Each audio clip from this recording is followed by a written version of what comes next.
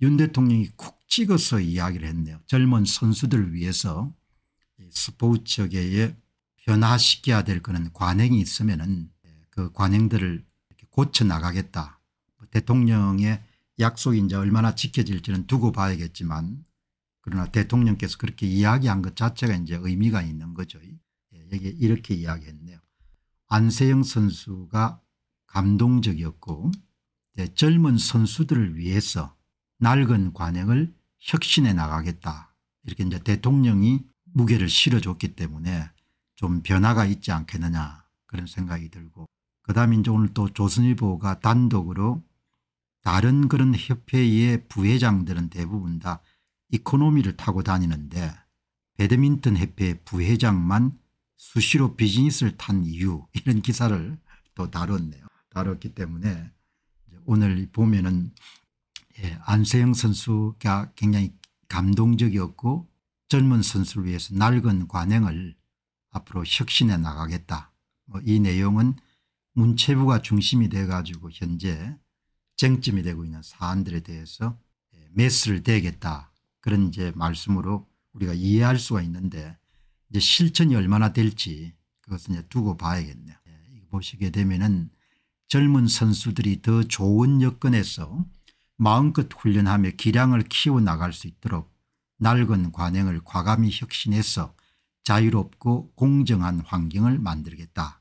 안세영 선수가 정말 멋진 경기를 매 세트마다 감동적인 경기를 보여줬고 무릎 부상을 비롯해서 많은 부상을 이겨냈기 때문에 금메달 획득이 가능했다고 본다. 이렇게 대통령이 무게의 중심을 심었으니까 이제 문체부가 어떻게 대응할지는 두고 봐야겠지만 이 스포츠계가 워낙 여러분들 뿌리가 깊은 그런 관행이기 때문에 효과가 있을지에 대해서는 조금 시간을 두고 지켜볼 필요가 있다 이렇게 봅니다. 그 다음에 이제 오늘 중앙일보에서는 예, 부동산 특히 아파트 가격 오름세가 심상치 않은 모양이네요. 그러니까 한국은행 총재가 부동산이란 단어를 기자 간담회에서 40번 넘게 말했고 예, 그렇기 때문에 이제 9월 달에 미 연준이 금리를 낮추더라도 한국은행의 고민이 굉장히 깊어질 수밖에 없고 그러니까 용산 대통령실은 하도 여러분들 고금리 때문에 경기 하강 추세가 굉장히 빠르게 진행되고 있으니까 한국은행에서 금리를 좀 낮춰줬으면 좋겠다. 그렇게 생각하는데 한국은행의 이창용 총재는 지금 상태에서 금리를 낮추게 되면 은 집값이 불을 붙이는 그런 격이 되기 때문에 관망을 해야겠다 그런 내용이 이제 나오네. 그런데 한국은행 총재 입장에서 부동산이라는 단어가 40번 정도 나왔으니까 부동산 가격 급등에 대해서 굉장히 특별한 그런 주의를 기울이겠구나 그런 생각을 하게 됩니다. 여기 이제 음, 백형동 무마 의혹으로 대금 차장을 지냈던 그런 분이 지금 기사가 됐는데 뭐 자세한 내용을 제가 말씀드리지 않더라도 정관 예우나 이런 뭐 이런 종류의 그런 사건이지 않겠느냐 그렇게 생각이 듭니다. 어제 말씀드린 바와 같이 2분기 가계부채가 1896조 그 2000조 정도를 육박해 가네요. 하는 총재는 이날 기자간담회에서 작심한 뜻이 부동산과 가계부채 현황을 우려하는 위험을 경고하는 메시지를 쏟아냈고 부동산이라는 단어만 40번을 썼고 서울 등 특정 지역 부동산 가격이 통화정책의 수량적 목표가 될 수 없지만 부동산 가격이 소득에 비해서 너무 가파르게 오르게 되면 은 거품이 형성될 수밖에 없기 때문에 금리 인하나 이런 부분을 조금 더 지켜봐야겠다 이런 취지로 시장에서는 부동산 시장 상황에 따라서 한국은행의 금리 인하 시점이 결정될 것으로 본다. 계속해서 이제 집값이 안정되지 않으면은 미 연준이 9월 달에 금리를 낮추더라도 11월까지 금리 인하가 미루질 수도 있지 않겠느냐 그런 내용이 이제 굉장히 오늘 비중 있게 다뤄졌네요.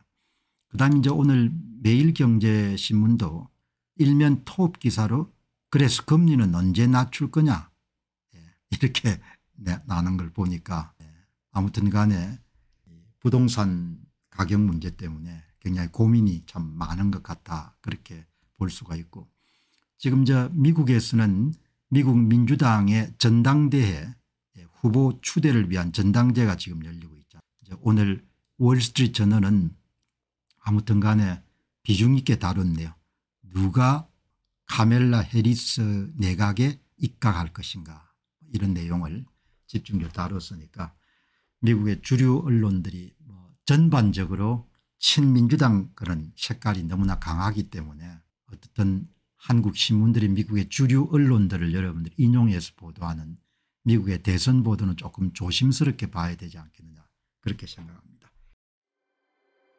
안녕하십니까 공병호입니다. 그동안 공병호TV는 선거 공정성 회복과 자유민주주의 체제의 보존과 발전을 위해 노력해 왔습니다. 이런 노력들이 지속될 수 있도록 공병호TV의 전기 후원 프로그램이자 멤버십 프로그램을 소개해 드립니다. 뜻 있는 분들의 관심과 동참을 부탁드립니다. 선거 공정성 회복을 위한 노력을 지지하시고 훌륭한 나라 만들기에 동참하시는 시청자분들이시라면 구독 버튼 바로 옆에 있는 가입 버튼을 통해서 정기 후원 프로그램에 가입할 수 있습니다. 가입 버튼을 누르시면 공병호TV의 후원자가 되시게 됩니다. 여러분의 후원이 선거 공정성 회복을 위한 노력에 힘을 더할 수 있을 뿐만 아니라 자유민주주의 체제의 수호를 그리고 발전을 통해 여러분과 후손들의 삶에 빛과 소금이 될 것입니다. 특히 그동안 공병호TV는 선거 공정성 회복을 위한 노력 과정에서 채널 성장에 제약이 가해지는 불이익을 감수해왔고 지금도 그런 불이익이 계속되고 있습니다.